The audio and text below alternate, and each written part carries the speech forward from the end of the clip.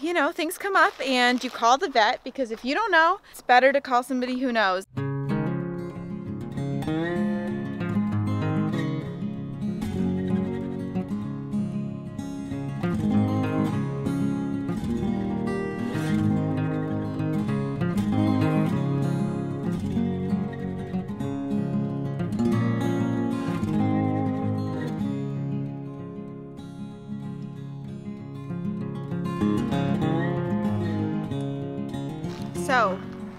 We were going to uh, going out to take some pictures of the horses because I was like, TJ has a heart on his forehead and it's Valentine's Day, so um, I want to take a picture of my horse that has a heart on his forehead and share it on Instagram.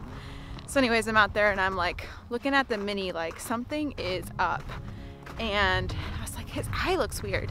And I got closer and I realized his eyelid was like super swollen, you know, as it is everything's going smoothly and then something comes up. But it's okay, we called the vet. Um, she said it's probably an eyelid thing or a, around the eye and not the eyeball itself. So she gave us some advice to ice it for 10 minutes two times tonight to check on it tomorrow, keep doing the same thing and see if the swelling starts to go down. So that's what we're doing.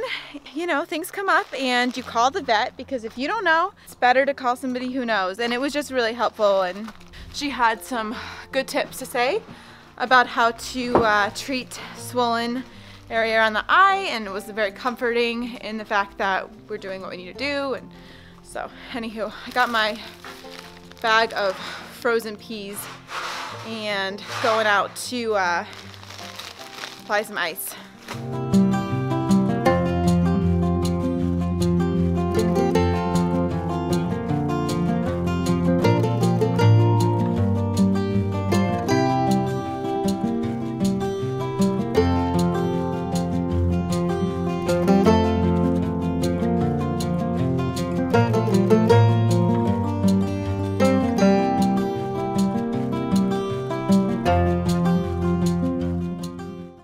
What'd she say?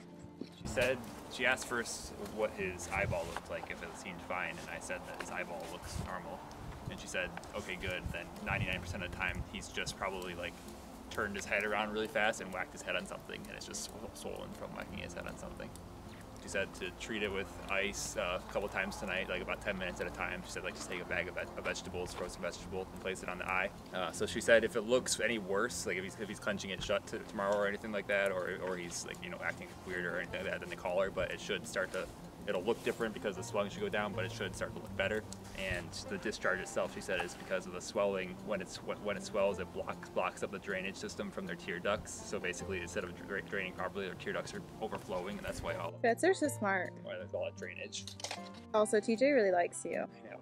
So we should be okay. We just have to we just have to ice it a few times. Guy has a swollen eye, and so we called the vet immediately. You can see it. We're gonna apply some ice to it as per vet's instructions, and then keep an eye on it. That's ironic. We're gonna keep an eye on the swollen eye. He's so cute. Also, while we are out here, a fox ran through the fields. I will insert a picture here.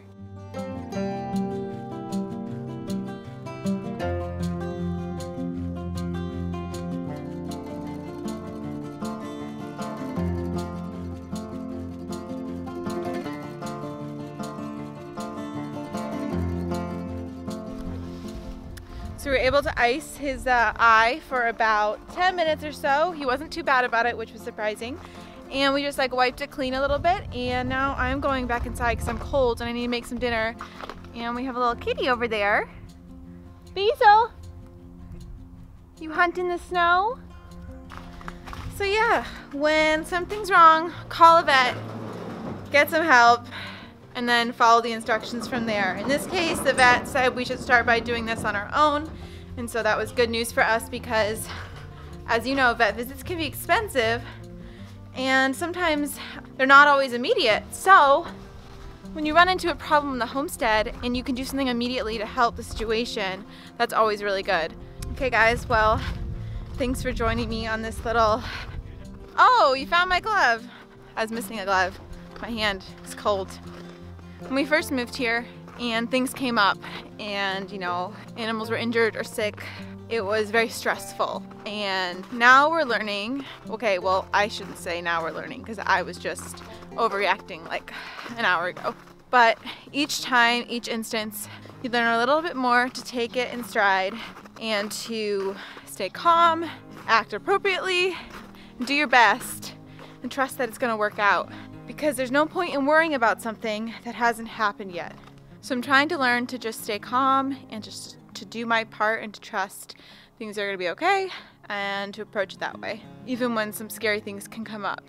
So, and things won't always be okay, things will go wrong, but if they're not at that point, it's not good to stress about it because there's so much worry already in life. Why add any more on top of that? Well, friends, time for me to go inside and um, prepare something to eat.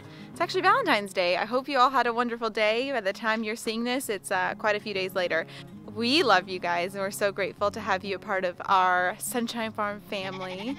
And if you like this video, please give it a thumbs up and um, go ahead and hit that subscribe button if you haven't already. Thanks friends.